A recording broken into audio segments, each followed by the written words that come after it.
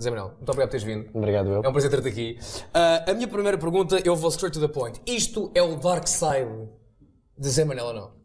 Ou é uma coisa. A, a minha pergunta é: isto foi uma coisa que durante oito anos foste alimentando e construindo enquanto personagem? Ou foi um dia que acordaste e pensaste: espera aí, não me identifico onde estou, uh, quero mudar tudo? Não, eu, eu acredito que todas as pessoas têm um lado melhor e um lado menos bom, mas não tem muito a ver com isso. Tem essencialmente a ver com uma nova fase mais madura e que, acima de tudo, é consequência de todas as situações boas e menos boas que eu fui vivendo ao longo da minha última década e, e, e, o que fui aprendendo com elas. E portanto, acima de tudo, o Darko é uma pessoa muito mais consciente quando fala de desilusão ou quando fala de sofrimento do que quando, quando tinha 13 anos, Sim. no meu anterior projeto. E portanto, nesse sentido é que eu acho que é um disco com uma carga muito mais forte e sem dúvida que reflete um bocadinho a minha forma de compor, porque eu não. Às vezes as pessoas perguntam porquê é que tu não compões quando estás feliz. E eu costumo dizer, eu quando estou feliz estou ocupado a estar feliz, estou, estou a fazer outras coisas, não estou certamente a escrever. E, e realmente a música é a minha forma de exorcizar situações mais melancólicas ou mais tristes ou, ou momentos mais solitários da minha vida que no meu dia a dia, para quem me conhece, não passam para fora, porque eu sou uma pessoa super bem disposta, super Sim. positiva e não, não mostro esse meu lado de nenhuma outra forma que não através da música. Portanto, quando as pessoas quando te vêm a escrever preocupam-se contigo. Pá, está, está, está, está numa fase má. Está numa fase má. Já tentaste escrever enquanto estavas eh, feliz e contente e a coisa não correu bem? Foi isso? Não, simplesmente não me ocorre. Eu acho que quando nós fazemos alguma coisa, seja o que quer que seja na nossa vida e investimos o nosso tempo nisso e queremos fazer um projeto a longo prazo, temos que ser honestos. E, e portanto, na minha música, eu tenho que ser assim mesmo e tenho que o fazer espontaneamente, porque eu posso me tentar sentar ao piano todos os dias, que se não houver nada que me leve a que as coisas saiam, porque eu nunca tive uma aula de piano, nunca tive uma aula de voz, aprendi sozinho. Se não houver nenhum sentimento interno que eu próprio ainda não tenha digerido e que me leve realmente a fazer as coisas, não sai. Eu posso tentar tudo, todas as combinações, andar ali a matutar e já tentei fazer isso e dizer, epá, hoje apetece-me compor uma música. Esqueça. não dá. Não sai. Não sai mesmo. Pura e simplesmente. Olha, eu tive que investigar no teu passado e foi muito giro porque eu tenho um pai músico, tiveste um avô músico. Tive, Eh, tive. Um vocalista residente no, no Casino Estoril, é verdade. Exatamente. Foi. eh, Lembras-te de o ver eh, atuar no casino ou, ou, ou- ou mesmo não o vendo, foi se calhar esse o gene que te levou a seguir essa, essa, essa carreira agora enquanto, enquanto músico mesmo, lá está como disseste, não tendo uma única aula? Sim, possível, possivelmente, possivelmente terá sido, embora não tenha tido qualquer tipo de ligação que o meu, com o meu avô e Sim. eu tenha visto muito poucas vezes.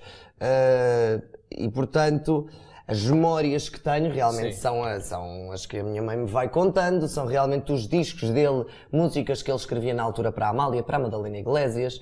Uh, curiosamente, uh, e, e a mim dá-me algum orgulho, não é pela questão monetária, mas é realmente por dar seguimento à obra dele, que foi uma obra que ele, a uma certa altura da vida dele, abdicou em função da família e de outras coisas por pressões externas e não pôde realmente concretizar o seu sonho. E, portanto, dá muito prazer, por exemplo, ter herdado os direitos de autor dele. Muito que bem. são uma.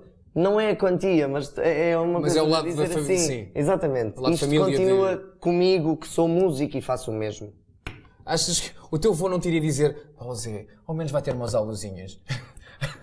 Olha, provavelmente iria. Aliás, eu, eu próprio já me, já me disse isso a mim mesmo. Gostava de ser um bocadinho menos preguiçoso no que toca aos aspectos técnicos.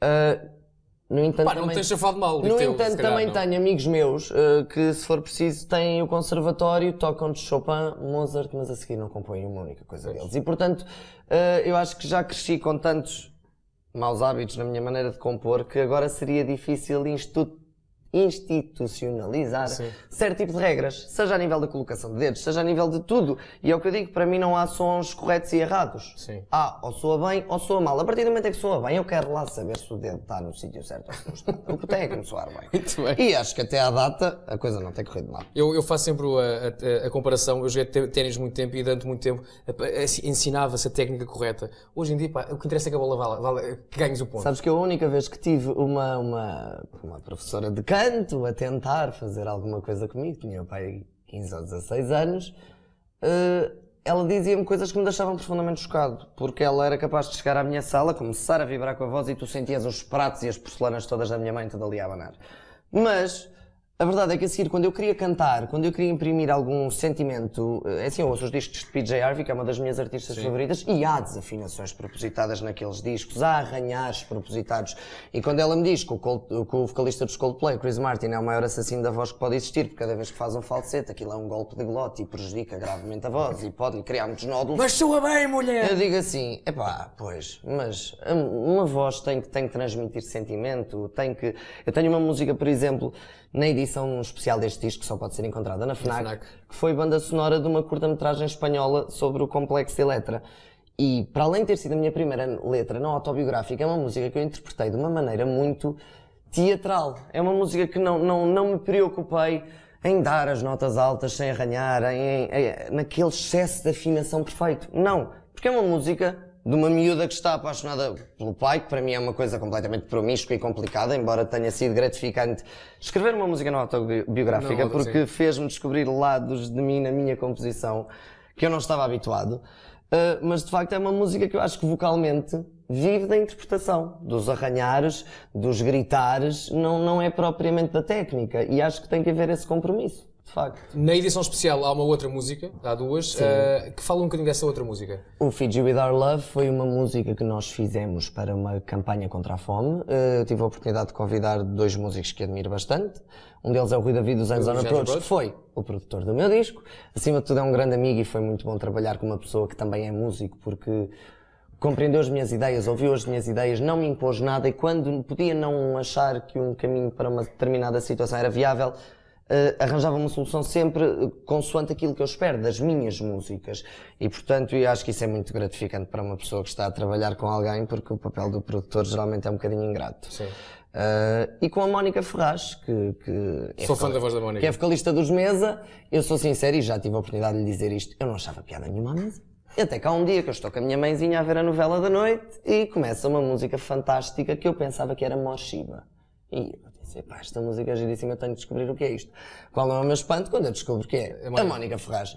E eu não tenho nada contra o português, aliás, escrevi uma música em português para este disco, que é a minha primeira, precisamente porque acho que quando alguém tem talento e faz realmente o que faz com gosto, a língua é uma questão completamente secundária. Eu não, não ponho de parte a hipótese de vir a cantar em francês, de vir a cantar em italiano. E, portanto, o português simplesmente foi inserido neste disco porque eu achei que aquela música se enquadrava no restante disco e se justificava.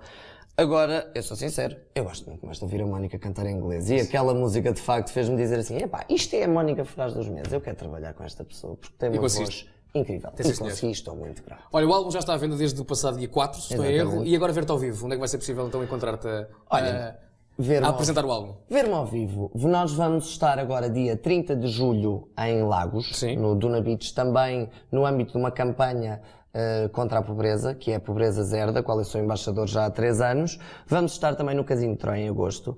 E, portanto, a partir daqui temos uma série de marcações que eu vou constantemente atualizando no meu Facebook. Aliás, eu gosto de...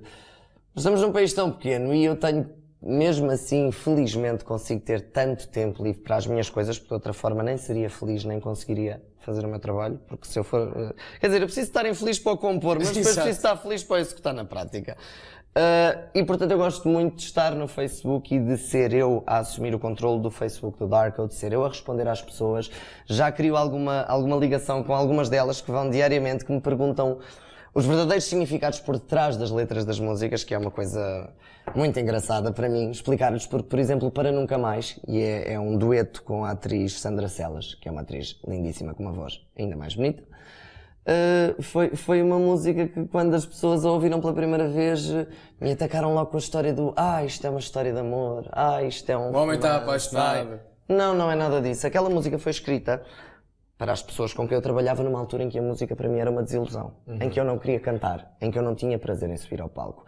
E quem reler a letra depois de ouvir isto, se calhar vê um novo caminho completamente diferente para o Nunca Mais. E é assim com quase todas as músicas, à exceção realmente do Not Your Fucking Daddy, são todas autobiográficas e, portanto, é engraçado poder explicar às pessoas que gostam do meu trabalho quais são as verdadeiras razões por trás das músicas, embora o poder da música seja que cada um tenha a sua interpretação. Sim, muito obrigado por teres vindo. Obrigado, melhor das sortes eu. então para este teu novo projeto. É um prazer. Juntem-se a nós no Facebook.